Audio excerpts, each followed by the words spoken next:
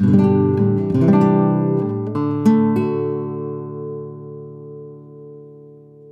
ihr Lieben und herzlich willkommen zum Einschlafen Podcast Episode 393. Ich bin Tobi, ich lese euch heute ein irisches Elfenmärchen vor und davor gibt es den Rilke der Woche und davor erzähle ich euch was, damit ihr abgelenkt seid von euren eigenen Gedanken und besser einschlafen könnt.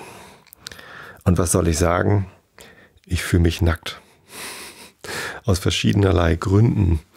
Äh, ich bin durchaus bekleidet, angezogen, aber ähm, der Blitz hat eingeschlagen, nicht in dieses Haus zum Glück, äh, sondern in der Nachbarschaft. Leider tatsächlich in ein Haus. Es ist aber keine Person zu Schaden gekommen. Wohl aber erheblicher Sachschaden. Und zwar hat der Blitz in einen Neubau eingeschlagen und ähm, die gesamte Elektrik der Sicherungskasten ist irgendwie geschmolzen. Ähm, und in der gesamten Nachbarschaft sind Fernseher und Internetanschlüsse und alles Mögliche kaputt. Wir sind 300 Meter weg ungefähr von dem Blitzeinschlag, 250, 300 Meter. Und ähm, es hat auch unseren Internetanschluss getroffen. Zuerst dachte ich, die Fritzbox sei nur beschädigt, weil die immer wieder neu gestartet ist, wenn man sie eingeschaltet hat ähm, und äh, gar nicht dazu gekommen ist, mal dauerhaften Betrieb aufzunehmen. Aber auch eine neue Fritzbox, die ich gestern dann beim Mediamarkt des Vertrauens, dem einzigen Laden, der hier bis später, so bis nach meinem Feierabend offen hat, wo ich dann mal eben sowas holen kann, geholt habe. Interessanterweise gibt es noch immer das gleiche Modell, 7490 ist immer noch aktuell. Es gibt einen Nachfolger, der aber laut dem Mediamarkt-Mitarbeiter nicht mehr kann als das andere. Irgendwie ein bisschen schnelleres WLAN, aber ansonsten das gleiche und es ist nicht mehr rot, sondern weiß. Hm.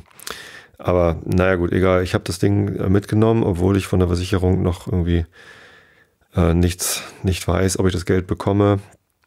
Die Hausratsversicherung hat gesagt, ich muss irgendwie einen Beleg dafür haben, dass das alte Gerät irreparabel kaputt sei. Und das konnten sie mir beim Mediamarkt nicht ausstellen. Bisschen ärgerlich. Aber kriege ich schon nach hin, ansonsten schicke ich das da eben ein. Nur leider mit der neuen Fritzbox funktioniert es auch noch nicht. Das heißt, Zusätzlich zur Fritzbox, die sich jetzt immerhin nicht mehr ständig neu startet, ist noch irgendwas anderes kaputt. Ähm, wahrscheinlich ähm, die Telefonleitung. Hoffentlich nicht hier im Haus, dass hier irgendwas aufgestimmt werden muss. Noch viel weniger hoffe ich, dass das äh, vom Haus bis zur Straße irgendwo ist. Ich hoffe, ähm, der Techniker von der Telekom kann das gut durchmessen. Der kommt morgen Nachmittag und das dann korrekt finden. Ja, entsprechend habe ich kein Internet und das ähm, macht mich schon mal, fühlt sich schon mal nackt an. Aber natürlich gibt es noch Handys.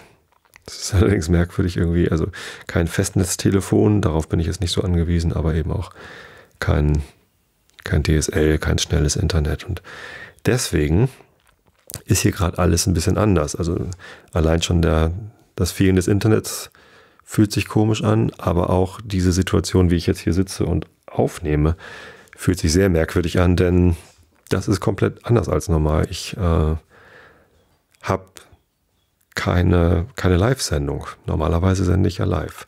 Und dann gibt es ganz liebe Shownoter, die da irgendwo sitzen äh, und dem lauschen, was ich hier erzähle und aufschreiben, was denn da so kommt und Notizen machen und Links raussuchen und Kapitelmarken schreiben an die ganzen wertvollen Sachen geht halt nicht ohne Internet. Ich könnte das natürlich jetzt über mein Handy irgendwie streamen, weiß ich aber nicht, ob das so zuverlässig ist. Das wollte ich gar nicht erst ausprobieren. Ich weiß auch gar nicht, ob ich diese Episode jetzt irgendwie gleich noch übers Handy hochladen kann, äh, wie, wie lange das dauert. Und zur Not muss ich das morgen aus der Firma dann veröffentlichen. Ja, das, das fühlt sich komisch an. Aber wenn ich schon keinen Stream habe, dann brauche ich auch keinen Computer, denn aufnehmen kann ich auch mit meinem Rekorder. Ich habe so einen Zoom H6, das ist ein mobiler Rekorder mit Mikrofon. Ich benutze jetzt nicht das eingebaute Mikrofon, sondern wie gewohnt mein schönes Sennheiser MK4 oder wie das heißt. Ähm, Großmembran-Mikrofon, sodass es wenigstens so klingt wie normal. Da sollte jetzt kein Unterschied sein, denn auch normalerweise benutze ich meinen Rekorder, dieses Zoom H6, als äh, Audio-Interface und streame dann ins Netz. Und die, die Streaming-Software Nicecast, die hat so eine Aufnahmefunktion und die benutze ich einfach immer zum Aufnehmen, weil ich ja sowieso nichts schneide. Ja, das ist eigentlich ganz praktisch so. Aber äh, jetzt steht hier kein Computer, keine Kabel sind verlegt. Ich habe einfach nur meinen Rekorder durchaus am Strom angeschlossen, damit er nicht die Batterien leer lutscht. Ähm, und mein Mikrofon hier mit so einem Ständer vor der Nase. Gut, das mit dem Mikrofon, dem Ständer sieht normal aus, aber das, dass hier kein Computer ist, auf dem ich sehen kann, äh, dass da ein Chat ist und so, das ist irgendwie, irgendwie fühlt sich das sehr nackt an. Genau. Aber ist ja auch mal was anderes. Und Abwechslung kann ja auch immer mal zu Kreativität führen oder zu, weiß ich nicht, raus aus dem Trott, ein bisschen die Komfortzone verlassen, den, den Alltag durchbrechen. Ich weiß nicht. Also schlimm ist es ja jetzt auch nicht. Es ist halt irgendwie schade, dass ich keine Shownotes bekomme. Ähm, aber auch damit werde ich leben können und ihr, meine Hörer. Ähm, ich weiß sowieso nicht, wie viele Leute die lesen. Für mich ist das das Allerwertvollste halt die, die Kapitelmarken an dieser Sache und die, das zweitwertvollste ist halt die bessere Auffindbarkeit im Netz, denn Google durchsucht halt keine Audiodateien, keine Sprache, sondern Google findet nur Text. Und wenn dann zumindest im Text, in den Shownotes drin steht, worum es denn geht in dieser Episode, ähm, dann kann jemand, der nach dieser Information sucht, zum Beispiel Serverprobleme in der letzten Episode oder davor mittelalterlich Fantasiespektakel. Und wenn danach jemand sucht, dann könnte er diese Episode finden. Und das ist natürlich ganz, ganz interessant. Also das finde ich ganz, ganz gut. Ja, ähm, ich fühle mich außerdem nackt, weil ich mich entschieden habe, keine Frisur mehr haben zu wollen. Ich bin die letzten Jahre immer noch mal brav zum Friseur gegangen, alle vier oder sechs oder acht Wochen ungefähr. Ähm, ich habe recht hohe Geheimratsecken. Ähm, und ich hatte mir schon immer gesagt, wenn die Geheimratsecken oben so zusammenwachsen auf der Stirn und ich dann vorne nur noch so einen Püschel habe, dann kommen die Haare ab. Ganz so weit ist es noch nicht. Ein bisschen was wächst hier noch da vorne in diesem Dreieck, aber ähm, es wird halt immer dünner. Ähm, meine Haarpracht von damals. Ich weiß nicht, wenn ich mal Foto von meinem Führerschein angucke, dann hatte ich halt lange äh, braune Locken und ähm, viele Frauen haben mich um meine Haarpracht beneidet. Viele Männer weiß ich gar nicht, vielleicht auch. Aber ja, das war schon äh, toll. Da war ich auch stolz drauf, habe ich auch gut gepflegt immer. Ähm, mein Papa hat immer, wenn er dann äh, mal von, von, seinen Ratskollegen oder von, von anderen aus dem Dorf zu hören gekriegt hat, dass äh, seine Jungs doch so ungepflegt aussehen, hat er immer sehr entrüstet reagiert und gesagt, also so häufig wie meine Jungs sich die Haare waschen und kämmen und pflegen, ähm, die sind so gepflegt wie sonst noch. Und das sah auch meistens einigermaßen gepflegt aus. Ist jetzt vorbei. Es gab wenn ich beim Friseur war, meistens so eine Phase, ungefähr eine Woche nachdem ich dort war, äh, fing das an und hielt dann für zwei, drei, vier, fünf Tage, dass ich mich halbwegs wohlgefühlt habe, so wie mein Kopf so aussah. Ähm, aber sobald die Haare ein bisschen länger geworden sind, ähm, sieht es halt bescheuert aus, wenn, wenn vorne so ein, so ein bisschen Fisselkram lang wächst und an den an den Seiten und hinten wird es irgendwie dann lockig, äh, wenn das irgendwie ein bisschen zu lang wird und ähm, ja, das sieht halt blöd aus. Also lange Haare wachsen kann, lassen kann ich mir einfach nicht mehr.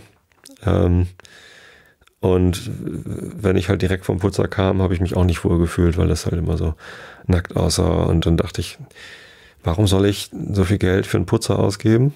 Putzer ist bei uns hier so ein Wort für ähm, Friseur oder für die Friseurin, äh, wenn ich mich, wenn, also wenn ich mich so wenig damit wohlfühle. Und jetzt habe ich mir einen neuen Langhaarschneider gekauft, mein alter Langhaar. Ich hatte schon mal einen Langhaarschneider. Ich hatte mir schon mal den Kopf irgendwie mit einem Langhaarschneider geschoren. Ähm, fand das dann aber nicht so toll und habe das dann nochmal mit ein bisschen Haaren probiert. Jetzt ist die Sache vorbei. Und soeben hat meine Frau mir den Kopf geschoren auf 26 Millimeter. Ähm, also nicht ganz kurz, also noch nicht. Ich habe noch keine Glatze, aber es ist jetzt halt einfach alles gleich lang und ich habe keine Frisur mehr, sozusagen. Ja, richtig nackt ist es noch nicht, aber ich muss mich jetzt dran gewöhnen. Vielleicht, und vielleicht wird es tatsächlich dann im Laufe der Zeit eher kürzer als länger, je nachdem, wie sich das hier vorne auf meiner Stirn so entwickelt. Ist irgendwie schade, aber letztendlich, meine Güte, was soll ich da Eitelkeit irgendwie vor Pragmatismus äh, laufen lassen? Ich finde irgendwie, wenn es eh nicht mehr so gut aussieht, dann brauche ich es auch nicht versuchen zu kaschieren und das, dann ist das jetzt eben so. Muss ich mich damit abfinden. Vielleicht sowas, so eine mönchartige Einstellung dazu finden. Mönche sind ja auch rasiert, so buddhistische Mönche zumindest, und ähm, die haben ja irgendwie die Suche nach der inneren Ruhe, vielleicht hilft einem das ja dabei. Das ist zumindest so. Das, wie ich es mir jetzt gerade schön rede. Genau. Internet ab, Haare ab. Ist noch irgendwas nackt? Nee, aber, aber ich bin heute das erste Mal seit drei Wochen wieder mit dem Fahrrad in die Firma gefahren, beziehungsweise nach Finkenwerder. Und da habe ich mich auch ganz schön zumindest so kalt gefühlt, als wäre ich nackt gewesen. Heute Morgen hat es geregnet. Ich bin trotzdem mit dem Fahrrad gefahren. Ganz tapfer habe ich mich da gefühlt. Äh, es war so ein dauerhafter Nieselregen, also kein starker Regen, sondern ja, es tröpfelte halt die ganze Zeit mal ein bisschen stärker, dann wieder ein bisschen weniger. Letztendlich war ich halt klitschnass, als ich dann da war. Schuhe, Socken komplett durchnässte bis auf die Haut. Und das war dann schon eher unangenehm. Ich habe halt keine Gamaschen oder Neoprenschuhe. Ähm, und am Körper, ja, war halt auch alles nass, aber das ist dann nicht so schlimm. Ich habe die Jacke in der Firma aufgehängt, die war dann abends wieder trocken. Ähm, drunter hatte ich so ein 200er Merino Woll Icebreaker Shirt. Nicht ganz angenehm, aber äh, weil es halt nicht so schnell stinkt, aber das, das war halt noch so klamm. Und dann abends da wieder reinsteigen in so klitschnasse Socken und klitschnasse Schuhe und so ein klammes Hemd und naja, die Hose ist ja eh, also ich habe dann so eine Fahrradhose, eine kurze auch getragen, waren heute Morgen 12 Grad, da kann man durchaus kurz fahren, aber ähm, ja, es war nicht so angenehm. Und auf dem Rückweg hatte ich dann auch Gegenwind und na, ich bin wahrscheinlich so ein bisschen aus dem Training raus. Nach drei Wochen nicht gefahren und habe auf dem Hinweg ordentlich Gas gegeben. Und als ich dann heute Abend wieder losgefahren bin in der Firma, dann muss ich immer noch ein bisschen Fahrrad fahren, bis ich dann bei der Fähre bin. Beziehungsweise, wenn gerade eine kommt, steige ich direkt am Fährenleger einer Firma auf, aber da war halt gerade keiner. Dachte ich, fahre ich mal die Elbe runter, der Fähre hinterher, mal gucken, wie weit sie ist. Und dann sah ich sie ähm, kurz bevor sie in Övergönne angelegt hat und äh, musste dann sehr, sehr schnell fahren, um äh, diese Fähre zu kriegen. Habe dann also voll in die Pedale getreten, habe die Fähre gerade so bekommen. Also der letzte Fahrgast war gerade aufgestiegen, als ich auf den Fähranleger kam und der Kapitän hat dann freundlicherweise gewartet, bis ich auch dann auf der Fähre drauf war. Also es waren dann halt noch so fünf Sekunden, die auf mich gewartet hat. Das war sehr nett. Ähm, aber ich war halt dann da schon von diesem Sprint, das sind so zweieinhalb Kilometer, äh, war ich dann doch ganz schön erschöpft. Und die 35 Kilometer, die ich dann noch nach Hause fahren musste, waren dann doch eher eine Quälerei, so gegen, so leichter Gegenwind, auch kein schlimmer Gegenwind, so dass man sich wirklich beschweren könnte, aber schon einer, der so bremst und man kann sich halt nicht einfach rollen lassen. Und die Kraft für alle von dem Sprint und von dem Morgensfahrt und so. ist ganz interessant. Also wenn ich morgens mit dem Fahrrad in die Firma fahre, fühle ich mich in der Firma total gut. Ich war den ganzen Tag über energievoll, obwohl ich heute Nacht kaum geschlafen hatte.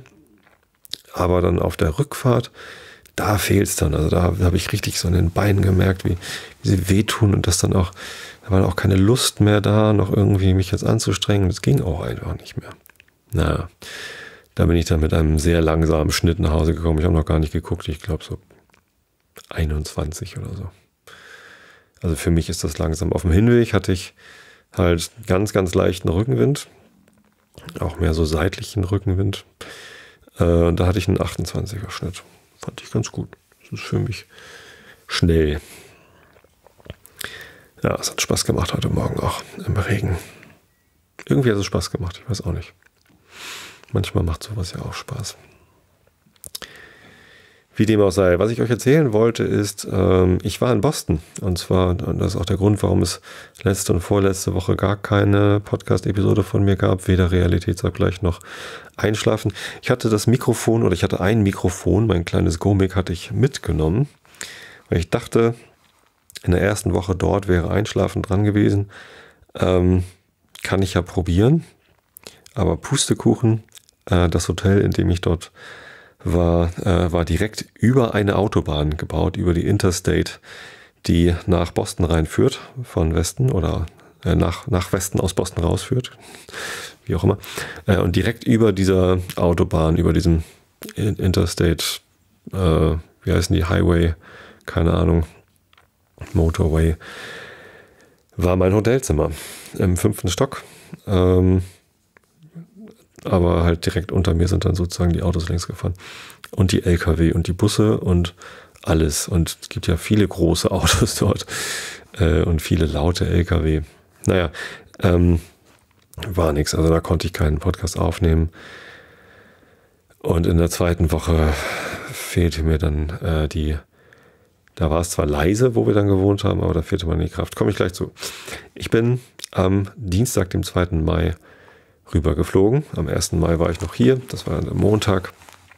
Äh, da haben wir hier den örtlichen Maibaum aufgestellt und tatsächlich zum dritten Mal hängt dort das Schild vom Einschlafen-Podcast ganz oben links im Maibaum. Hat mich gefreut. Ähm, das hatte ich ja vor drei Jahren dann mal anfertigen lassen und ähm, seitdem hängen sie es halt jedes Jahr wieder dran. Also man muss nicht jedes Jahr ein neues Schild machen oder so. Sehr nett. Ähm, und das macht auch Spaß, den aufzustellen. Ich helfe auch immer beim Hochdrücken. Da machen gar nicht so viele Leute mit bei dem, bei dem Aufstellen. Äh, der Bürgermeister hat dieses Jahr gesagt, das macht dann wohl mal die Dorfjugend, aber die Dorfjugend hatte wohl in den Mai reingefeiert in Kampen auf dem, auf dem äh, Saal und äh, lag noch in Sauer. Da war keine Dorfjugend. Das ist ganz interessant, wenn es zu so einem Dorffest geht und da sind nur äh, die, die Elterngeneration, also ab meinem Alter, ich bin jetzt 42, und Kinder. So kleine Kinder, die haben ganz viel Spaß, rennen rum und spielen auf der Wiese und klettern hinten in die Bäume und alles Mögliche. Ähm, holen sich zwischendurch Pommes und Kuchen und so und was man so braucht äh, und verschwinden dann wieder. Das ist ganz lustig, wenn das ganze Dorf, so alle Kinder vom ganzen Dorf spielen dann zusammen. Genau, die Jugendliche fehlen. Das ist ganz, ganz lustig zu beobachten. Ähm, nee, also Jugend war nicht da, dann mussten wir Männer halt wieder ran. Das ist ganz schön anstrengend, so einen Baum aufzustellen. Nicht, weil das so schwer ist. Das ist zwar auch ganz schön schwer, wird zwar jedes Jahr leichter, weil der Baum halt weiter trocknet, der große Stamm. Aber ähm, das Anstrengendste beim Maibaum aufstellen ist doch irgendwie das Trinken, weil man ständig Pause machen muss und irgendwer kommt mit so einem Tablett Bier an und dann muss man immer Bier trinken. Leider gab es Krombacher und die Leute im, in dem Wagen konnten auch nicht richtig zapfen. Da war dann irgendwie kaum Kohlensäure drin. Und Krombacher ohne Kohlensäure schmeckt dann ja auch irgendwie nicht. Ich meine, welches Bier schmeckt schon ohne Kohlensäure? Genau, das hatten wir noch gemacht am 1. Mai und abends äh, angrillen im Freibad. Am 1. Mai wird traditionell in Tosted das Freibad eröffnet. Ein kostenloses Freibad, in dem auch die DLAG ähm, arbeitet. Meine Frau und meine große Tochter sind ja Mitglied. Also wir sind alle Mitglied, aber die beiden sind aktiv in der DLAG und da ist dann immer Angrillen von der DLAG abends noch. Ganz nett. Ja, Dienstag dann äh, mit der Bahn zum Flughafen und rübergeflogen. Ich habe mich entschieden für Iceland Air dieses Mal, weil ich es irgendwie nett fand, mal in Island zu landen. War ich noch nie. Ähm, und weil das so ganz praktisch ist, so einen Flughafen in der Mitte zu haben. Äh, der, also nicht wirklich in der Mitte der Strecke, aber ähm, sonst, wenn ich in die USA geflogen bin, hatte ich immer einen kurzen Flug, entweder nach London oder nach Frankfurt oder so, und dann einen langen Flug über den Teich rüber. Und die waren immer besonders lang, weil die halt nach äh, San Jose oder so waren, also San Francisco, an die Westküste. Und jetzt ging es nach Boston und da ist halt Reykjavik ja, fast in der Mitte. Ne? Also dreieinhalb Stunden habe ich nach Reykjavik gebraucht und dann fünfeinhalb Stunden von Reykjavik nach Boston. Auf dem Hinflug hatte ich nicht viel Zeit in Reykjavik. Da war anderthalb Stunden oder so und ich habe halt nur schnell was zu essen gegriffen, kleinen Laden gesehen. Ich bin dann auch gar nicht aus diesem Terminal raus, wo die, äh, wo die Flüge, also ich irgendwie, weiß ich nicht. Und ich hatte gar keine, gar kein Bild bekommen von diesem Flughafen. Das habe ich erst auf dem Rückweg gesehen, dass da noch ein bisschen, ein bisschen größer ist er doch noch. Zumindest war da nur ein ganz kleiner Laden mit Souvenirs und äh, isländischen Whisky und, und so ein bisschen Geröll halt, was halt keiner braucht und ähm, eine kleine Ecke, wo man sich was zu essen kaufen konnte. Also mehr so ein, so ein Supermarkt, ein Kühlregal mit Sandwiches und eine Ecke, wo, wo Pizza aufgewärmt worden ist. Sehr merkwürdig. Sehr teuer auch, äh, sehr teure Pizza, irgendwie 14 Euro oder so. Und nicht lecker, einfach nur so aufgewärmte Pappe. Ja, war nicht so gut. Egal. Ähm, der Flug war okay. Äh, Iceland Air, ich habe es nicht geschafft, irgendwie noch ein Upgrade zu machen von Economy auf Komfort, heißt das bei denen. Bei Lufthansa ist es, glaube ich, Premium Economy oder Economy Plus oder so. Bei United gibt es das auch. Äh, bisher konnte ich das immer ganz gut machen, weil ich so lange Beine habe, dass ich dann irgendwie so einen Platz bekomme, wo ordentlich Beinfreiheit ist an den Notausgängen. Ist mir da jetzt nicht geglückt und auf dem Flug von Reykjavik nach Boston musste ich tatsächlich irgendwie ein, zwei Stunden stehen, weil es mir zu eng war da in den Sitzen. Aber es war ja ein Tagflug und dann war es eh nicht schlimm.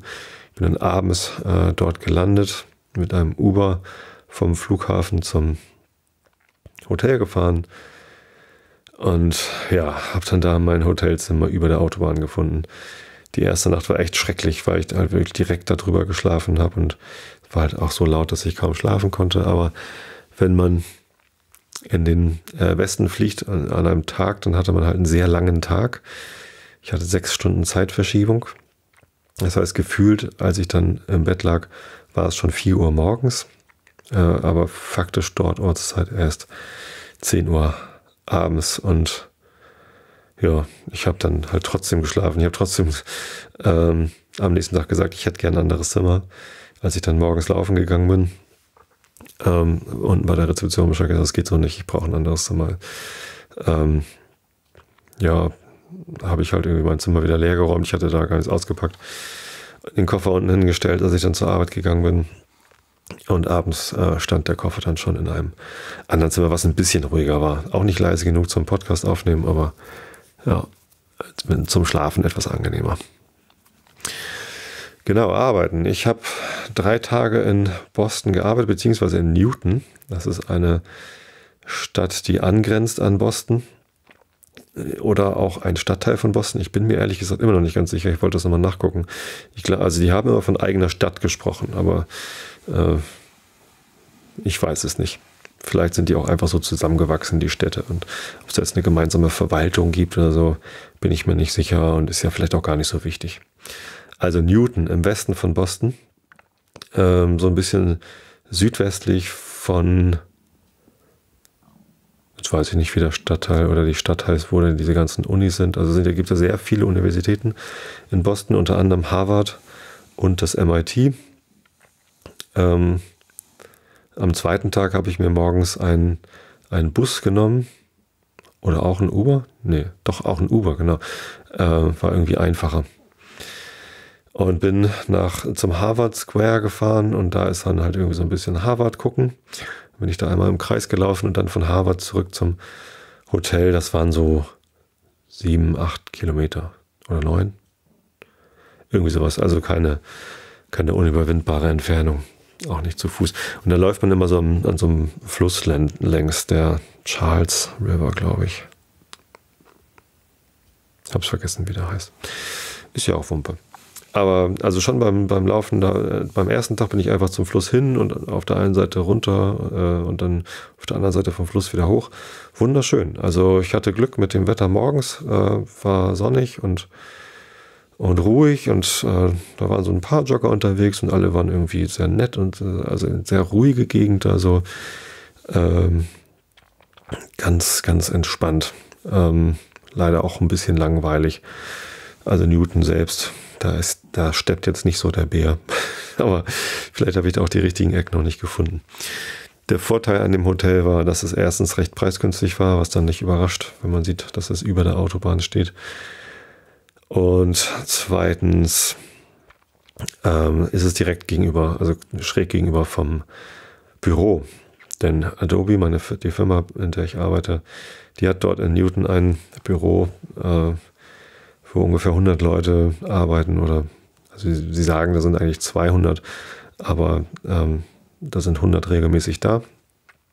Ähm, und einige davon kannte ich schon, äh, die sich dort auch um Agilität kümmern, die Agile Coaches dort. Und zu denen hatte ich schon Kontakt aufgenommen und die hatte ich auch angespitzt, dass ich in der Woche drauf da zu diesem Gathering fahren würde und dass sie doch mitkommen sollen. Ich hatte die Möglichkeit, die da einzuladen. Das ist ja so ein Invite-Only, also man kann dort nur mit einer Einladung hin zu diesem Gathering und dann konnte ich die einladen und äh, die haben das auch geschafft, sich da anzumelden.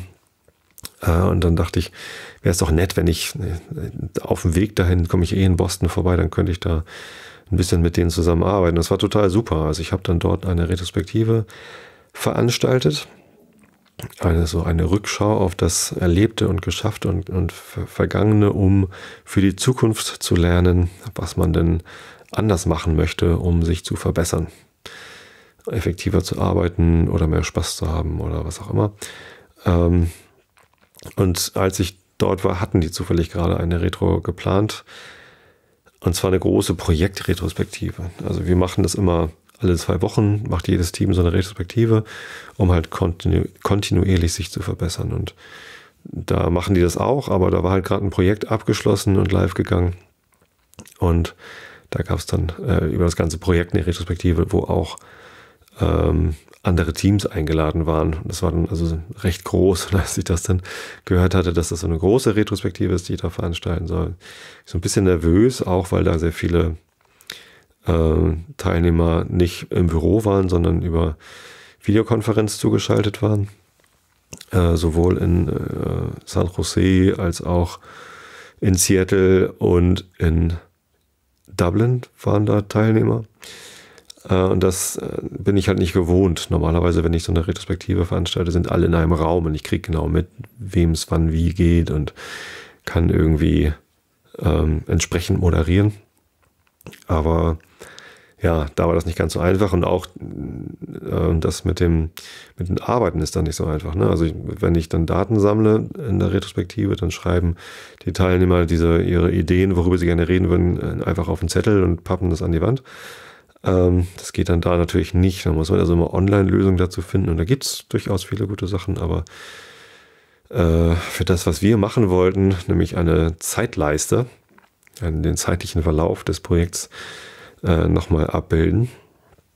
Äh, inklusive der Information, ob die Ereignisse, die da aufgeführt werden auf der Zeitleiste, positiv für das Projekt oder das Team waren oder negativ. Und da gibt es halt nichts. Und das haben wir dann mit so einem Google Drawing gemacht. Und war so halbwegs gut. Also es hat ganz gut funktioniert äh, und, und die fanden das ganz spannend, was ich mir da so ausgedacht hatte. Aber so ein bisschen aufgehalten hat es dann schon. Ja, und äh, ich konnte auch bei einer Retrospektive teilnehmen. Äh, das war insgesamt äh, ganz spannend. Die haben da auch so einen Buchclub, wollten sich dann treffen zum Buch besprechen. Habe ich noch einen guten Buchtipp bekommen über diesen Buchclub äh, in der Firma. Die lesen halt alle einfach alle gemeinsam ein Buch und äh, treffen sich dann alle zwei Wochen und für eine halbe Stunde und reden halt drüber, was da so drin steht. Gerade geht es um das Buch The Coaching Habit von, ich habe den Autoren vergessen, aber wenn man das bei Amazon eingibt, dann ist das gleich der erste Treffer. Ähm, sehr cool, ganz kurz, äh, übersichtlich und auch locker geschrieben, also ähm, sehr leicht zu lesen, einfach verständlich und ich glaube ganz hilfreich. Da lernt man halt, wie man äh, sich äh, Coaching zu einer äh, Gewohnheit machen kann. Ja, fand ich ganz gut. Ja, und dann ähm, waren diese drei ersten Tage, die waren relativ schnell vorbei. Am ersten Abend habe ich dann mit den Arbeitskollegen noch ein Bierchen getrunken. Am zweiten Abend weiß ich gar nicht, was ich da gemacht Ich glaube nix. Einfach früh ins Bett, weil ich dann doch müde war. Und am dritten Abend ähm, bin ich ins Science Museum gegangen. Denn ich habe am, am Mittwoch, glaube ich, noch irgendwie einen alten Bekannten angeschrieben, Jan Tajo, der wohnt in Boston mit seiner Familie. Verena kenne ich auch, seine Frau, und zwei Kinder haben die auch, vier und null Jahre, also ein halbes Jahr oder so. Ähm, und die habe ich ewig nicht gesehen. Also wir kennen das noch aus der Uni und dann haben wir gemeinsam einen sehr guten Freund, wo wir uns dann auf Geburtstagsfeiern gesehen haben und so. Also keine, keine engen Freunde, aber also halt so nette, gute Bekannte. Man, man mochte sich damals und hat sich halt ein paar Mal gesehen. Ähm, und ähm, ja, die wohnen halt in Boston. Da habe ich die halt angeschrieben. Ähm, hast du Lust, dass wir uns treffen? So, ja, cool. Und dann ähm, die Kinder hätten dann Lust oder, oder wenn du Lust hast, können wir ins Aquarium gehen oder ins Science Museum. Und dann habe ich mir das so angeguckt. Ich hatte von den Sachen schon gehört. Wollte ich mir was aussuchen oder gucken, was vorschlagen. habe ich gesehen, es gibt da so einen City Pass in Boston und mit dem kann man ins Aquarium und ins Science Museum und auf den Prudential Tower. Das ist so ein Hochhaus, was so ein bisschen außerhalb von der, ähm, also ein bisschen westlich von der, von der Downtown Skyline steht. Ähm, und das hat ganz oben halt irgendwie im, weiß ich nicht, 32., 35. Stockwerk oder so hat es einen 360 Grad Rundgang mit Fenstern, so dass man halt auf die Stadt gucken kann. Und das ist halt ganz cool. Das ist so ein bisschen außerhalb der Skyline steht, weil man so halt nicht, nicht mittendrin äh, von lauter anderen Hochhäusern umgeben ist, sondern halt so einen schönen Blick auf die Skyline hat und eben auch einen Blick auf den Rest der Stadt. Sehr, sehr cool. Ähm, und eine Hafenrundfahrt oder irgendwas anderes, habe ich jetzt vergessen, ähm, ist auch noch mit in diesem City Pass drin. Und wenn man das macht, spart man halt irgendwie die Hälfte der Eintrittspreise, weil das ist doch ganz schön teuer. Ähm, habe ich mir also so einen City Pass gekauft und das Einzige, was ich Freitagabend machen konnte, war das Science Museum. Da habe ich zwei Stunden dort verbracht. Viel mehr Zeit hätte ich auch gar nicht gebraucht. Erstens war ich noch ein bisschen müde. Zweitens ist das Science Museum zwar schick, ähm, ja, beziehungsweise also eher toll und eher nicht so schick. Also es ist alles schon so ein bisschen alt. Es ist ein Museum. Aber ähm, die ganzen, also es gibt halt viele so Experimente, wo man was ausprobieren kann oder wo man durch Ausprobieren was lernen kann. Und ich mag sowas total gern. Ich habe das ja auch schon oft erzählt hier im Podcast, wie wir äh, damals in Schweden bei Tom Titz waren, südwestlich von Stockholm oder im, in diesem Museum in München, wo man unten ins Bergwerk reingehen kann und so. Und das finde ich immer ganz cool. In Berlin gibt es auch, haben wir auch gemacht. Und auch das Universum in Bremen, wo wir letztens mit der Familie waren, ist eigentlich auch sehr ähnlich.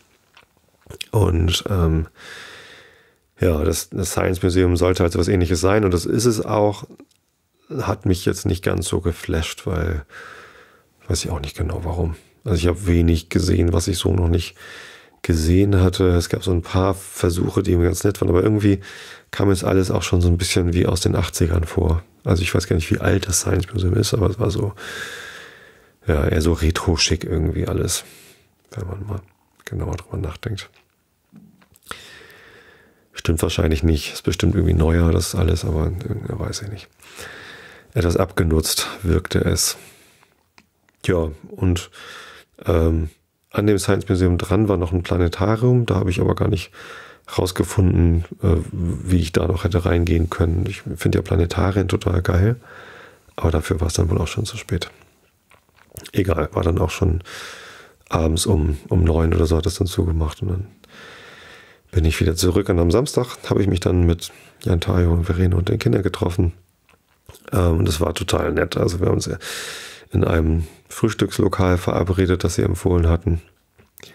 Äh, Soundbites in Somerville. Die wohnen in Somerville und haben halt Soundbites empfohlen.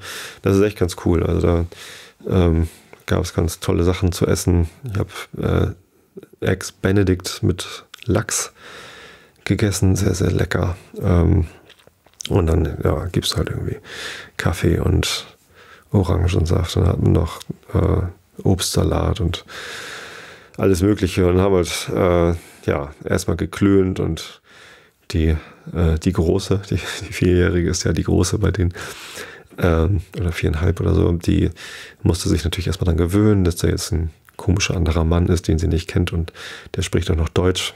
Sie versteht natürlich Deutsch, weil ihre Eltern Deutsch sind, aber sie sprach halt die ganze Zeit Englisch. Ich glaube, das liegt daran, dass sie mit Englisch halt überall verstanden wird. ähm, keine Ahnung, habe ich gar nicht gefragt, äh, warum sie immer Englisch spricht. Na, irgendwann ist sie aufgetaucht und konnte ich mich auch mit ihr unterhalten. Das war ganz nett. Genau, und dann sind wir irgendwann ja, losgezogen Richtung Aquarium. Und das war auch sehr nett. Also schönes Aquarium. Nicht ganz so beeindruckend wie das Troparium bei Hagenbecks äh, in Hamburg. Da war ich nun gerade irgendwie vor einem Monat oder so. Ähm, allerdings gibt es dort in dem Aquarium in Boston einen Seewassertank, äh, der, der, so eine Säule ist äh, und in der Mitte von dem ganzen Ding steht. Das heißt, man geht die ganze Zeit so außenrum äh, immer so ein bisschen aufwärts und außenrum sind lauter Aquarien und man kann sich lauter Sachen angucken. Ist auch toll, aber man sieht halt immer ähm, dann in der Mitte diesen Tank schon stehen und da sah man dann die Leute dann so runtergehen. Also ähm, das war schon klasse. Äh, also in der Mitte des großen Raumes Unten drin waren Pinguine und in der Mitte war halt diese riesen Säule. Das ist wirklich groß. Also kann man schon fast mit diesem, mit diesem riesen Aquarium am Ende vom Troparium von Hagenbecks vergleichen, wenn ihr das kennt. Da ist halt so eine riesen Scheibe, die ist irgendwie 20 Meter breit und 10 Meter hoch oder so. Äh, unfassbar großes Aquarium, in dem dann Haie und Rochen und was weiß ich was schwimmen. Äh, und hier in diesem Seewassertank in der Mitte schwammen halt auch ganz viele große Fische und Moränen und ähm, ganz oben waren zwei Schildkröten, also richtig große Schildkröten schwammen da drin. Das sah schon echt toll aus. Ja, ein, ein riesen Oktopus, einen großen Oktopus habe ich da auch zum ersten Mal so gesehen. Fand ich sehr beeindruckend. Und ja, eine große Anaconda war da auch noch. Also, wo man wirklich nicht erahnen konnte, wie lang das Viech eigentlich ist, weil es halt ähm, ewig lang sich da aufgewickelt hatte. Und ich habe das Ende gar nicht gefunden, so ungefähr. Ja, das war ganz schick. Das Aquarium, genau. Dann sind wir danach noch so ein bisschen durch die Stadt gelaufen, ein bisschen so am Wasser längs gelaufen und ich muss sagen, Boston gefällt mir echt gut. Also am Samstagnachmittag hatten wir auch das Glück, dass dann das Wetter wieder gut war. Samstagvormittag hat es geregnet. Äh, nachmittags ging es dann. Frisch, also nicht, nicht gerade warm, ähm, windig, aber schön sonnig dann und dann das, das passte schon irgendwie. Die, das Klima in Boston ist anscheinend sehr variabel. Im Winter kann es zum, bis zu minus 20 Grad oder noch kälter werden, Celsius. Ich, ich benutze immer noch Celsius, auch wenn ich da drüben irgendwie immer gucken musste, wenn die über Fahrenheit reden, was sie dann wohl meinen. Und im Sommer bis zu 30 Grad plus und ähm, sehr, sehr warm und trocken. Und äh, auch dort kommt der Wind halt meistens aus dem Westen. Genau wie hier ist halt auch Nordhalbkugel und unsere Breiten kein, kein großer Unterschied. Und da zieht die, ziehen die Luftmassen dann vorher über Land und nicht wie bei uns über Wasser mit der Nordsee und, den, und dem Atlantik. Ähm, und dadurch ist das Klima dort halt deutlich extremer als hier, wo wir immer diese schön vorgewärmte und angefeuchte Luft vom Atlantik, vom Golfstrom bekommen. Ja, ganz interessant. Ähm, und die Stadt, also nicht nur vom, vom Wetter her hat es mir gut gefallen, sondern ist halt so ganz anders als San Francisco oder San Jose, weil die Straßen nicht so schachbrettartig angeordnet sind. Also typische amerikanische Stadt ist ja, alle Straßen sind durchnummeriert und, und alle irgendwie parallel und rechtwinklig zueinander, so. Ja, und dann gibt es da diese Blöcke. Ähm, sondern das ist irgendwie deutlich organischer gewachsen. Mit, es gibt Kurven, es gibt spitze Winkel, es gibt stumpfe Winkel, es gibt alles Mögliche. Also ähm, sehr nett und die ganze Stadt ist ein, eine sehr bunte Mischung aus ähm, sehr alten Häusern. Also nicht so alt wie Europa offensichtlich, aber ähm, es gibt da halt dieses Gebäude, in, in dem sich die Tea Party irgendwie äh, gebildet hat. Das steht da noch. Äh, ich habe die Namen alle vergessen von den Gebäuden, aber ja, sieht, sieht so ein bisschen aus wie eine alte weiße Kirche. Und dann gibt's da ähm, so ein altes Hochhaus, das da irgendwie, weiß nicht, eins der, eins der ersten Wolkenkratzer Amerikas war oder so. Und gibt es aber ganz viele neue Hochhäuser mit Glasfassade und hast du nicht gesehen und so. Also ein sehr, sehr witziger, bunter Mischmasch. Es gibt auch so ein paar 70er Jahre Hochhäuser, also die so nach 70er Jahre aussehen. Das eine hat so goldene Fensterrahmen oben so rum, so mit so Bögen irgendwie.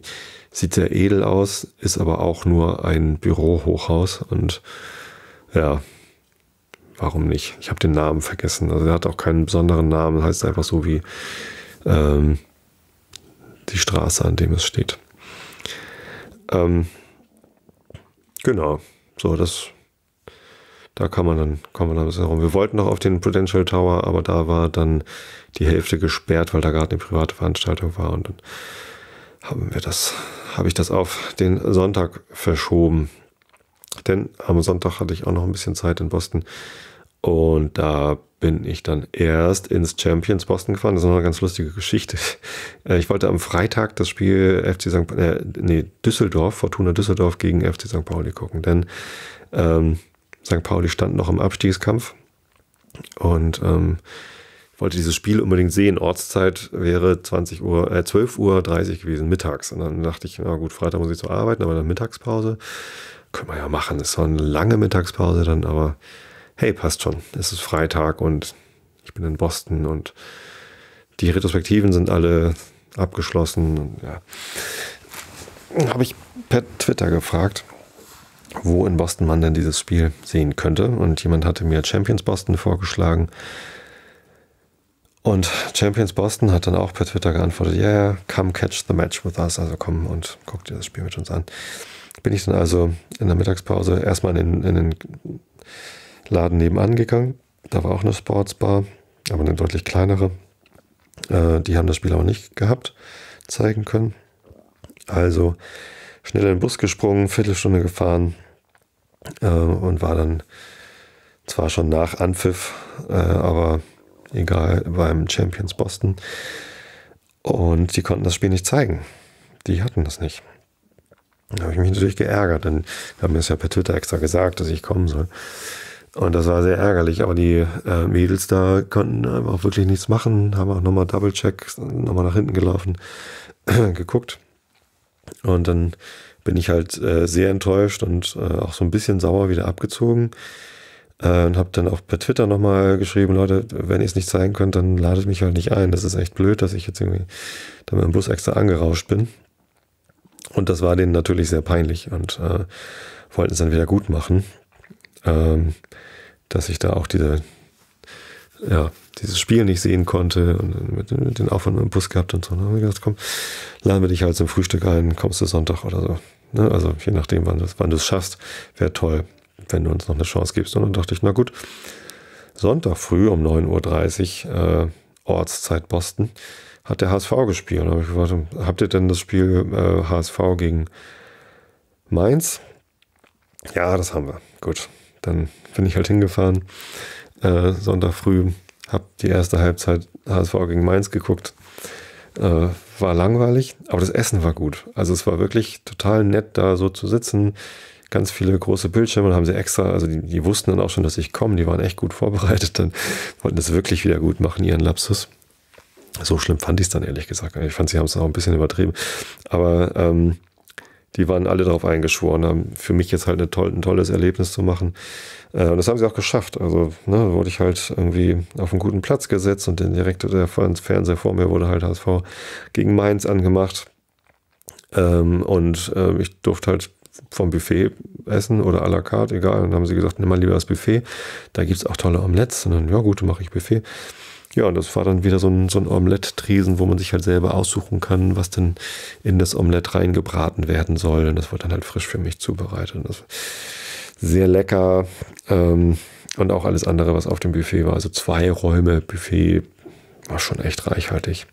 Hab ich ordentlich satt essen können. Ganz viel Kaffee getrunken und ja, frisch gepresster O-Saft wurde ständig nachgeschenkt. Äh, war schon echt sehr luxuriös und am Ende äh, kam dann tatsächlich nochmal der, der Manager äh, an und gab mir nochmal seine Visitenkarte, falls noch irgendwas ist. Ähm, ja, haben sich also sehr darum gesorgt, diesen, diesen Abschluss wieder gut zu machen. Das fand ich total nett. Also war fast schon ein bisschen zu viel des Guten. Aber ähm, na gut, warum nicht?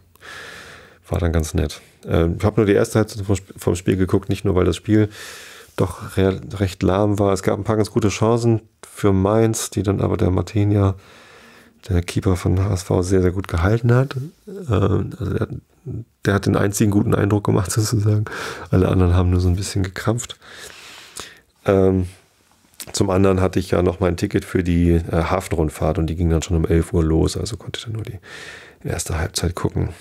Hafenrundfahrt war cool, das war so ein Historical Sightseeing-Trip durch den Hafen. Ähm, sehr schön, äh, auch wieder halt sehr sonnig dann am Sonntag. Äh, einfach durch den Hafen schippern, äh, erst so ein bisschen an der Skyline längs und dann raus zu den Inseln. Äh, vor Boston sind irgendwie unfassbar viele kleine Inseln und auch größere Inseln. Und ich habe gelernt, dass 75 Prozent der Landmasse von äh, Boston künstliches Land sind. Das ist also fast so wie in Holland, wo irgendwie ganz viel Land gewonnen worden ist durch Aufschüttung und Absperrung und sonst wie was. Ganz interessant. Ja, und natürlich noch ganz viele andere Sachen gelernt. Also über diese Architektur dort, über die äh, Dinge, äh, was das alles für Inseln sind. Eine der Inseln ist ein riesiger Müllberg, wo sie früher mal ihren Müll abgeladen haben. Das kann so nicht weitergehen. Letztendlich haben sie den Müllberg angezündet. Dann hat da irgendwie zehn Jahre oder 15 Jahre lang oder so der Müllberg gebrannt, bis sie es dann irgendwann wieder löschen konnten. Skurrile Geschichte. War wohl eher eine schlechte Idee. Sowohl den Müll dahin zu kippen, als auch das dann anzuzünden. Nun ja, aus WLAN wird man hoffentlich schlauer. Mittlerweile ähm, haben sie ziemlich viel Arbeit reingesteckt, das Wasser dort im Hafen wieder sauber zu machen.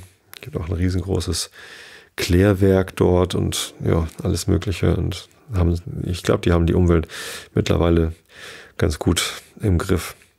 Es gab sowieso so zwei durchgehende äh, Themen in Boston, die mich da äh, begleitet haben. Das eine war ähm, Umwelt und Naturschutz äh, kam immer mal wieder vor. Die haben die gleichen Mülleimer wie in Hamburg, Big Belly. Das sind so große, also an den Straßen, große Müllarbeit, äh, Mülleimer mit so einer Klappe.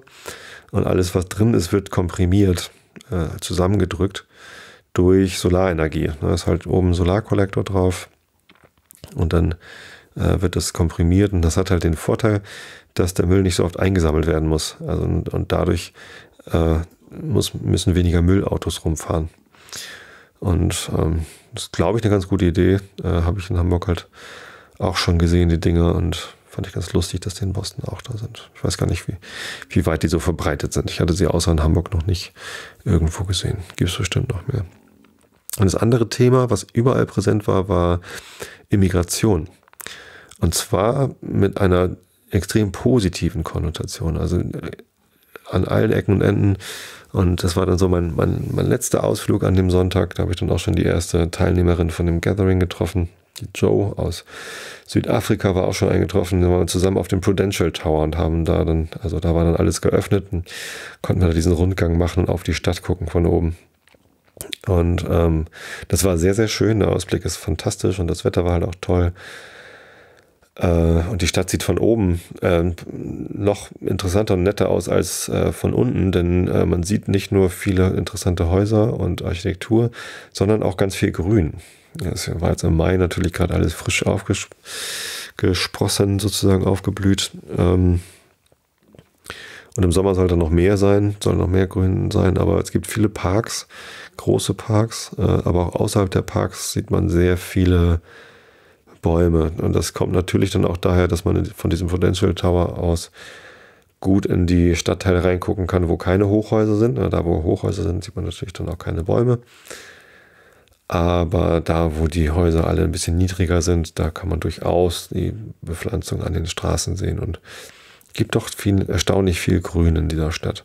Das hat mir sehr gut gefallen. Das hat mich auch sehr an Hamburg erinnert. Insgesamt Hafen und Grün und interessante Stadtarchitektur. Ähm, okay, Hamburg hat keine Skyline, Hamburg hat keine solchen Wolkenkratzer. Ich glaube, das höchste ist jetzt, ich weiß nicht, ist die Elbphilharmonie? Nee, ist im CCH, das Radisson ist halt irgendwie hoch und ansonsten hat Hamburg keine Skyline. Das vermisse ich auch gar nicht. Also ich brauche jetzt keine, keine Skyline in meiner Stadt. Ähm, wenn, dann sollte es übrigens so eine sein wie in Boston oder San Francisco oder New York, die halt sich wirklich dann Skyline nennen kann und nicht sowas wie in Frankfurt. Also nichts Böses über Frankfurt. Ich mag die Stadt, aber die Skyline ist irgendwie halt wenig beeindruckend, wenn man schon mal eine richtige Skyline gesehen hat. Naja, ähm, entsprechend finde ich es eigentlich ganz gut, dass Hamburg gar keine hat. Aber ansonsten, es war halt irgendwie viel vergleichbar. So, auch vom, vom Gefühl her habe ich mich dort gleich irgendwie zu Hause gefühlt. Es war eine tolle Stadt. Genau, Prudential Tower. Das war dann auch schon so der letzte Ausflug. Und da oben war halt dieses zweite Thema, Immigration war da ganz sichtbar. Also wirklich da an der Innenseite dieses Rundgangs waren halt ganz viel äh, so Bilder und Geschichten und kleine Lautsprecher und fast überall ging es darum, wo die Leute alle herkamen, die in Boston groß und berühmt geworden sind. Dass das halt doch größtenteils Immigranten oder zumindest Nachfahren von Immigranten waren und dass es sowieso alle Immigranten sind, bis auf die paar Native Americans. Ähm, und dass Immigration was Gutes ist und Vielfalt was Gutes ist. Und das war sehr, sehr ähm, aggressiv schon fast, wie sie das dargestellt haben. Ich bin natürlich auch der Meinung, dass Immigration was Gutes ist.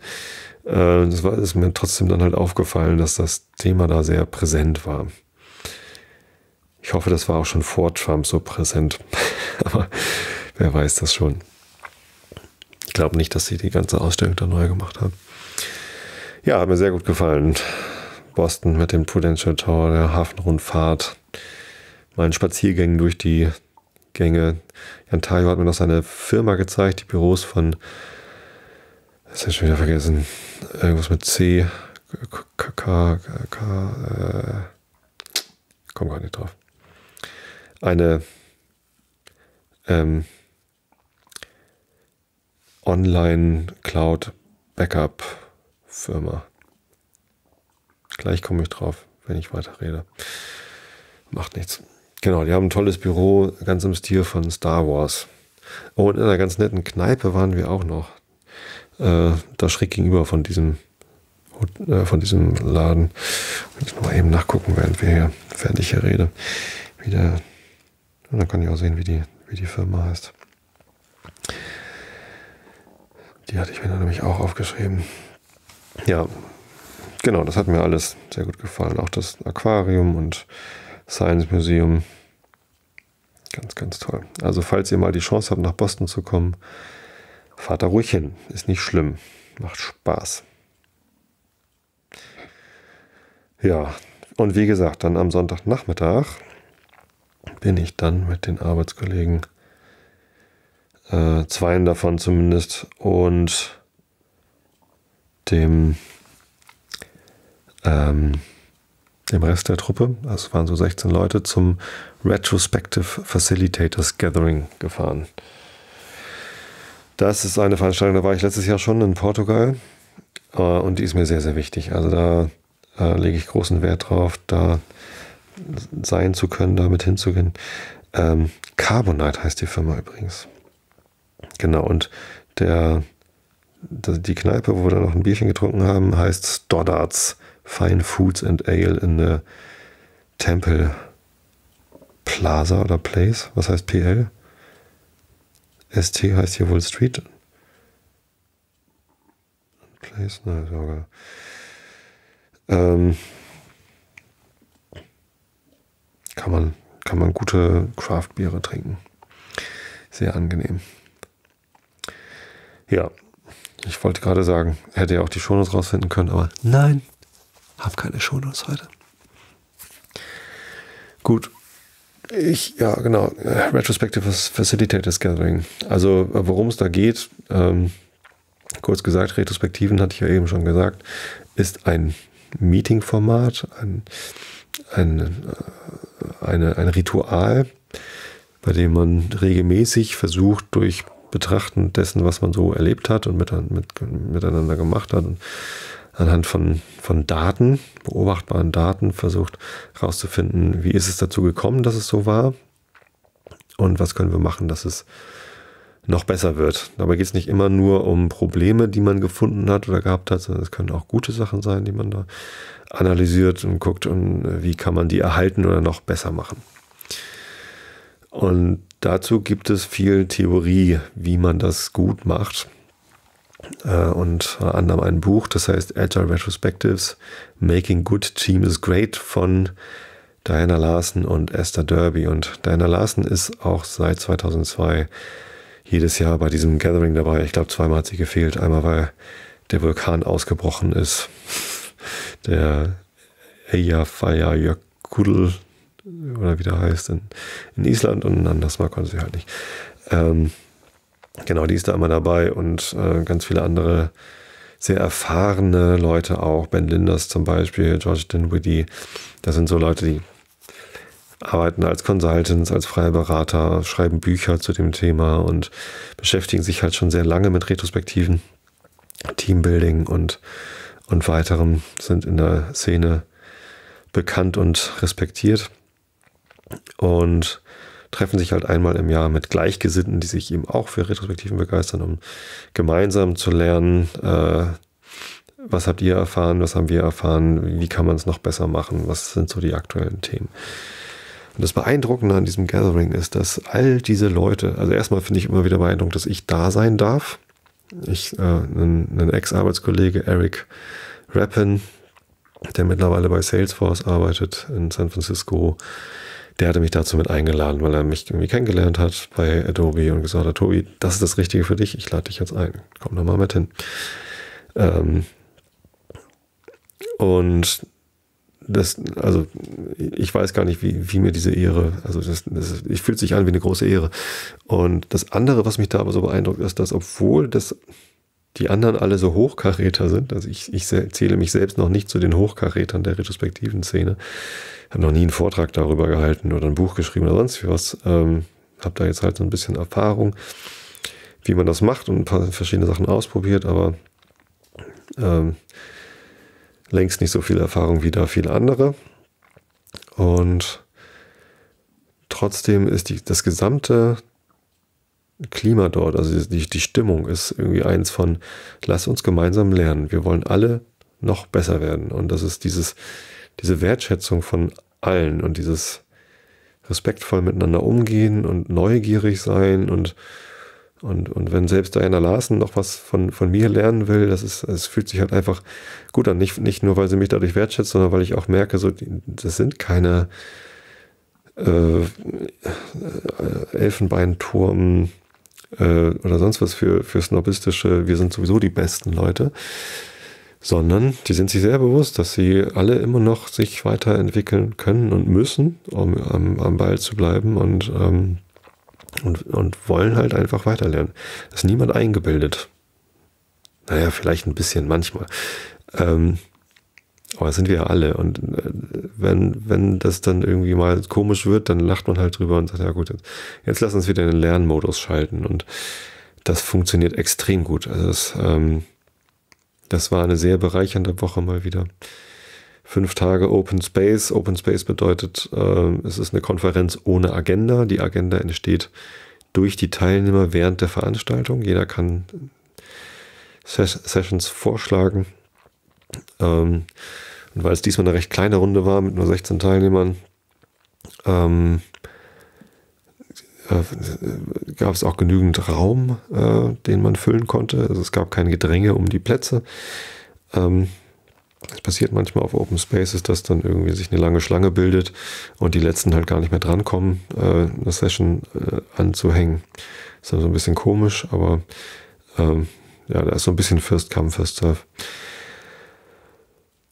War aber kein Problem. Also wir hatten einfach für alles genügend Zeit. Ähm, haben das mit sehr viel Ruhe und mit einem sehr langsamen Tempo durchgezogen. Äh, und das war ganz toll. Die Location war strange. Das war im Westen von Massachusetts. Also es war halt, Boston lag auf dem Weg, aber man musste nochmal so zweieinhalb Stunden mit dem Auto nach Westen fahren, in den Berkshires, das sind Berkshire Mountains, das ist so eine Hügelkette. Also keine hohen Berge wie in den Alpen, sondern mehr so mittelgebirgsartig. Ich war ja letztes Jahr in der Rhön, nee, vorletztes Jahr, weiß ich gar nicht mehr. Ähm, ja, vergleichbar vielleicht. So. Und äh, da mitten in den Bergen, auch außerhalb des Ortes, also der Ort hieß Sheffield, Massachusetts, äh, und südlich davon, so ein bisschen an, an der Ausgangsstraße, lag dann dieses kleine Hotel, die Racebrook Lodge. Und dort fand das Ganze statt. Die Racebrook Lodge ist ein ehemaliger Bauernhof, glaube ich, umgebaut zu einem ganz kuscheligen kleinen Hotel. Das ist halt alles sehr rustikal, sehr einfach und auch so ein bisschen hemdsärmlich. Also vieles wirkte so, als würde es nur mit Gaffertape zusammengehalten sein oder mit Nägeln. Also da waren einfach so Nägel reingeschlagen und guckten halt noch über so raus. Und das war also alles andere als ordentlich oder fein oder sonst wie was, sondern sehr rustikal auch bearbeitet. Ähm, ist für mich kein Problem, komme ich mit klar. Ähm, unsere Veranstaltung fand statt in The Barn, also im, in der Scheune. Und eine Scheune ist tatsächlich halt dann auch nicht isoliert. Und morgens war das da ganz schön kalt. Hatte zwar eine Heizung dann drin, einen Heizlüfter, aber das dauerte dann noch eine ganze Weile und war dann auch laut, um das aufzuheizen. Das war so ein bisschen suboptimal. Ähm, aber ansonsten war das da sehr cool. Also es passte. Das war nicht steril. Wir hatten ganz viel Licht.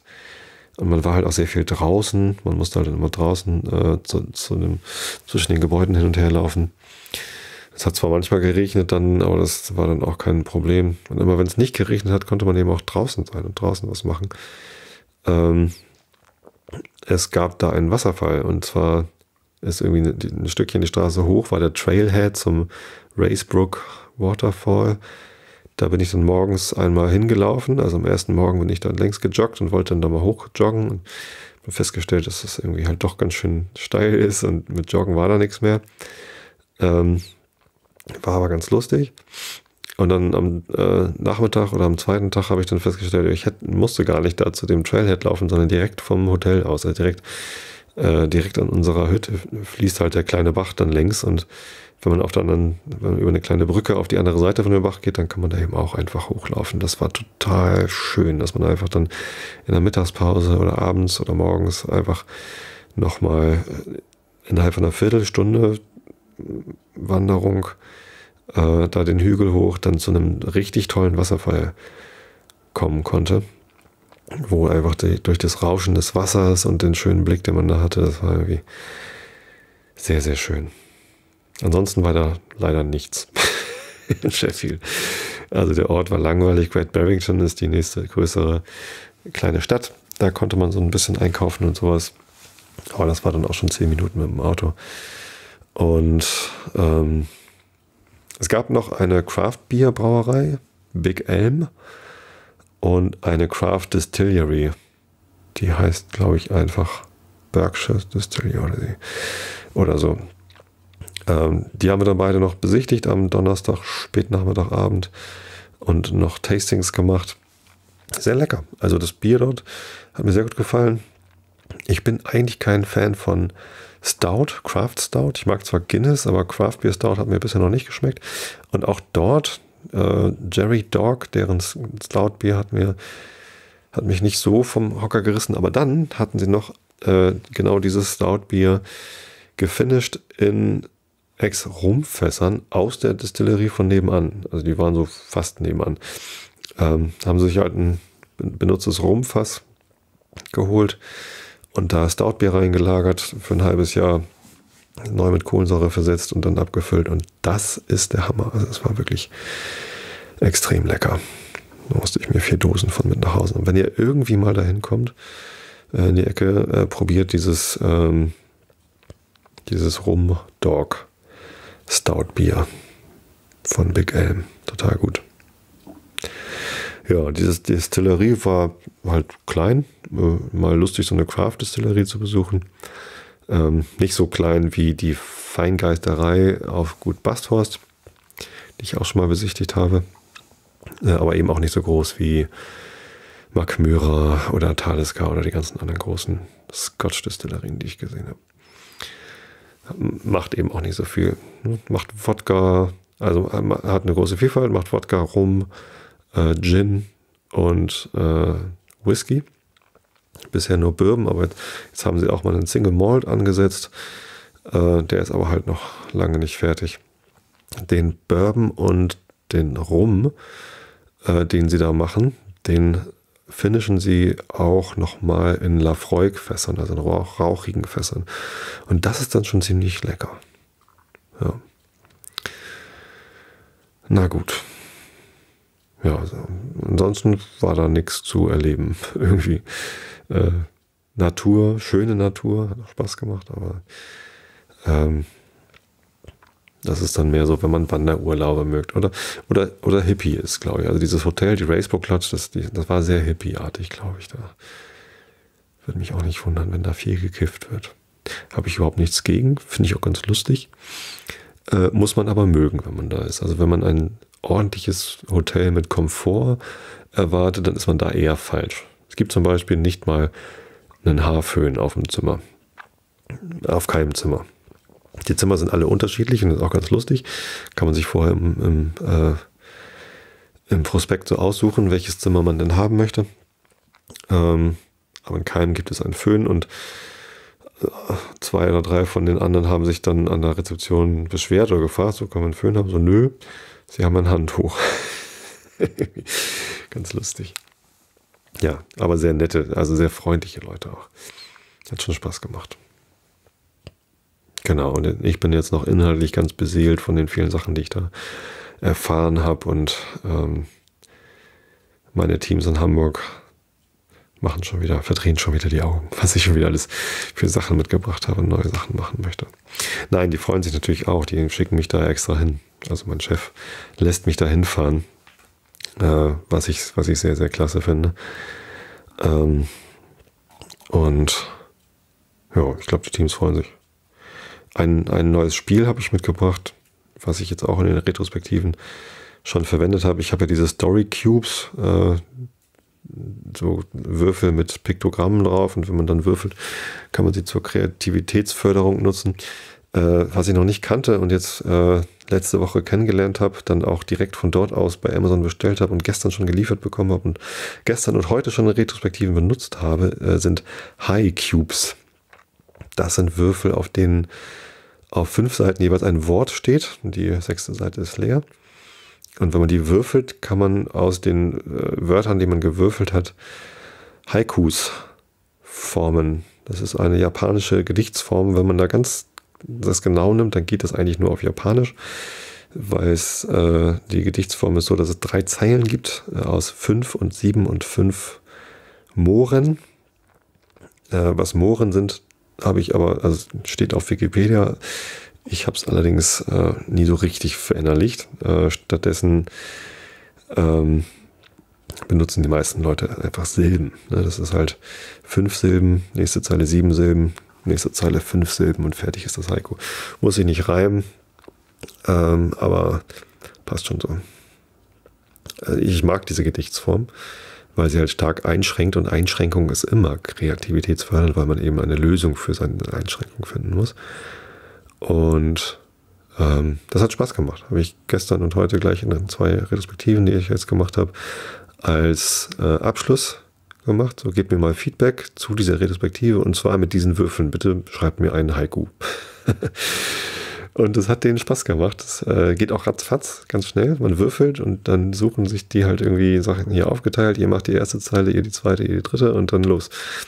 Ja, und dann suchen sie sich halt Wörter aus und hier zack. Stellen natürlich schnell fest, so richtig sinnvoll kann es dadurch nicht werden, aber man kann zumindest einen Eindruck vermitteln, indem man irgendwie dieses Wort wählt und nicht jenes. Und das, ist ganz witzig. Könnt ihr mal gucken. Auf Amazon gibt es die für 23 Euro. Es gibt noch die Love Haikus. Die habe ich jetzt heute erst bestellt. Jetzt habe ich mich zuerst nicht getraut, die für die Firma zu bestellen. Da gibt es dann halt Liebesgedichte. Soll man dann machen. Aber die kosten nur irgendwie 9,95 Euro oder so. Und dann habe ich die jetzt auch einfach nochmal bestellt. Und wenn ich die in der Firma nicht benutzen kann, wenn die, weil die zu albern sind oder zu anzüglich, dann benutze ich die halt zu Hause. Ist auf Englisch allerdings alles. Gibt es nicht auf Deutsch. High Cubes, sehr, sehr schön. Na gut, es ist hier schon wieder so viel Zeit vergangen, ah, die ich euch hier vollgelabert habe und es wird spät und ich muss ins Bett. Ähm, lese ich euch doch einfach mal was vor. Und zwar erstmal den Rilke der Woche. Der heißt heute, gestern habe ich im Traum gesehen. Gestern habe ich im Traum gesehen einen Stern in der Stille stehen und ich fühlte, Madonna sprach diesem Stern in der Nacht, blüh nach. Und ich nahm alle Kraft zu Rat, grad und schlank, aus des Hemdes Schnee streckte ich mich, und das Blühen tat mir auf einmal weh. Mhm. Mir tat auch alles weh, als ich mich auf dem Rückflug nach dem kurzen Schläfchen, das war ein Nachtflug, habe ich kurz geschlafen. Ähm, nicht viel, weil ich nicht viel schlafen kann im Flugzeug. Aber da, da tat mir auch alles weh. Ja. Ähm, kommen wir zum Elfenmärchen. Lese ich heute vom Kindle vor, weil ich, ich hier gerade sitze, aus dem Buch nicht gut lesen kann. Äh, das 20. Elfenmärchen heißt Daniel O'Rourke's Irrfahrten. Jedermann hat von den. Oh, Moment. Erstens steht da noch in Klammern, siehe auch die Anmerkung, habe ich eben überlegt, ob ich das vorlesen soll. Zweitens habe ich vergessen zu sagen, Augen zu und zugehört. Macht man es einmal ohne Computer und ohne Live-Sendung schon, passiert einem sowas. Augen zu und zugehört. Jedermann hat von den berüchtigten Abenteuern des Daniel O'Rourke gehört, doch wie wenige wissen die wahre Ursache aller diesseits und jenseits erlebten Gefahren und doch war sie keine andere, als dass er unter den Mauern der Fuka-Burg eingeschlafen war. Ich kenne den Mann recht gut, er wohnt in dem Tal von Hungry Hill, rechter Hand an der Landstraße, die nach Bantry führt. Er war zu der Zeit, wo er mir das letzte Mal die Geschichte erzählte, ein alter Mann mit grauem Haar und roter Nase, und es war den 25. Juni 1813, als ich sie von seinen eigenen Lippen hörte. Er saß eben und rauchte seine Pfeife unter einem alten Pappelbaum an einem so prächtigen Abend, als noch einer am Himmel gestanden hat. Ich habe die Höhlen auf der Insel Dursey gesehen und den Morgen zu Glen Gareth zugebracht. Ich bin schon oft angegangen worden, Herr, es zu erzählen, und es ist daher nicht das erste Mal. Seht, der Sohn unseres Herrn war auf, der, auf Reisen gewesen, jenseits in Frankreich und Spanien, wie es bei der, bei der jungen Herrn Sitte ist. Ehe man noch etwas von Bonaparte oder seinesgleichen gehört hatte, und war nun zurückgekommen. Bei der Gelegenheit war der ganze, ward der ganzen Umgegend ein Fest gegeben und vornehm und gering, hoch und niedrig, arm und reich eingeladen. Es waren lauter Ehrenmänner von altem Korn und Schrot, mit eurer Erlaubnis sei es gesagt.